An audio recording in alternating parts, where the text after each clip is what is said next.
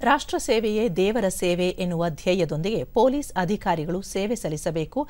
ಜನರಿಗೆ ಪೊಲೀಸರ ಮೇಲೆ ಇರುವ ಭಯವನ್ನು ಹೋಗಲಾಡಿಸಬೇಕಿದೆ ಎಂದು ರಾಷ್ಟ್ರಪತಿ ದ್ರೌಪದಿ ಮುರ್ಮು ಹೈದರಾಬಾದ್ನಲ್ಲಿಂದು ಹೇಳಿದ್ದಾರೆ.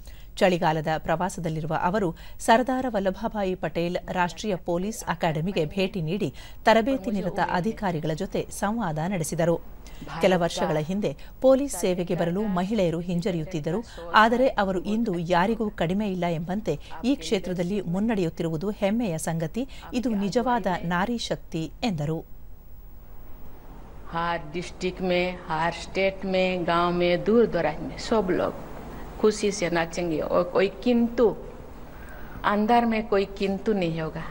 ये बात ये प्रश्न नहीं रहेगा।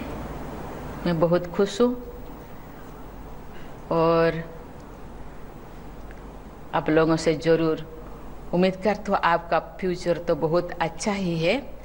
साथ ही साथ देश का फ्यूचर भी बहुत ब्राइट होगा इसी के साथ ही मैं पुनः आप सबको बहुत बहुत बधाई दे करके मैं अपनी वाणी को विराम देती हूँ ಇದಕ್ಕೂ ಮುನ್ನ ಹೈದರಾಬಾದ್ನ ಕೇಶವ ಸ್ಮಾರಕ ಶಿಕ್ಷಣ ಸಂಸ್ಥೆಗೆ ಭೇಟಿ ನೀಡಿ ವಿದ್ಯಾರ್ಥಿಗಳನ್ನು ಉದ್ದೇಶಿಸಿ ಅವರು ಭಾರತೀಯ ಸಂವಿಧಾನವು ವಿಶ್ವದಲ್ಲಿಯೇ ಅತ್ಯುತ್ತಮವಾದದ್ದು ಸಾಂಸ್ಕೃತಿಕ ಬೇರುಗಳು ಮತ್ತು ಪರಂಪರೆಯನ್ನು ರಕ್ಷಿಸುವುದು ಅತ್ಯಗತ್ಯ ದೇಶದ ಸುಭದ್ರತೆಗೆ ಶಿಕ್ಷಣವೇ ಬುನಾದಿ ಬಾಲಕಿಯರ ಶಿಕ್ಷಣದ ಬಗ್ಗೆ ವಿಶೇಷ ಒತ್ತು ನೀಡಬೇಕಿದೆ ಎಂದು ತಿಳಿಸಿದರು Of village for development and efforts to free education to all the children who lost a parent due to COVID-19.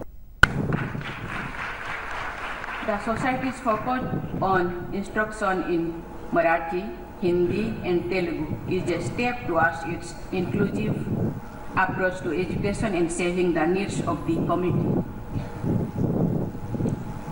I congratulate the present management of society for undertaking this important work. Ladies